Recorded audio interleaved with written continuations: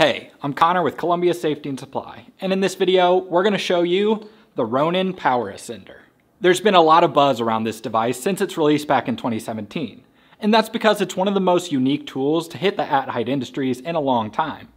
Its potential extends far beyond just making it easier for climbers to reach their work areas. The Ronin Power Ascender opens up the world of at-height work to nearly everyone. With this device, new hires require less technical ropes training, fewer physical demands, and fewer components that could lead to error. All things that save time and money. So let's jump right into the physical features of this device. It comes in right around 25 pounds with the battery attached.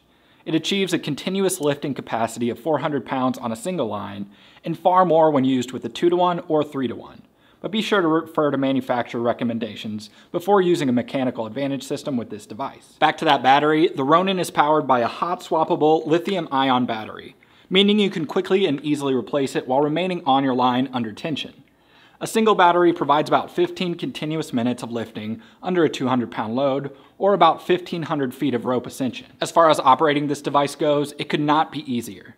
It features a thumb wheel trigger for speed control, giving you the ability to ascend the rope at 0.5 feet per second, up to 1.5 feet per second. When you're ready to descend, simply use the descender arm to be lowered down the rope at a constant speed similar to many of your rope descender devices. As you can see, it features a variety of connection points for easy integration with your existing hardware. But let's talk about the rope requirements for this device. The Ronin is designed for use with 10mm to 12mm static rope that's 32 strand or higher.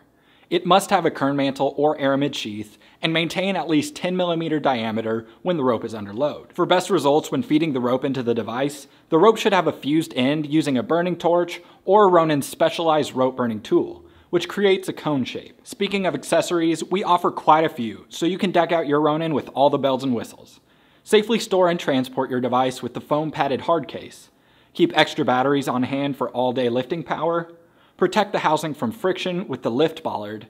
And keep the internal components of your device free of dirt and debris that cling to your rope with the rope brush. This device is ideal for applications in tower climbing, tree care, and rope access work.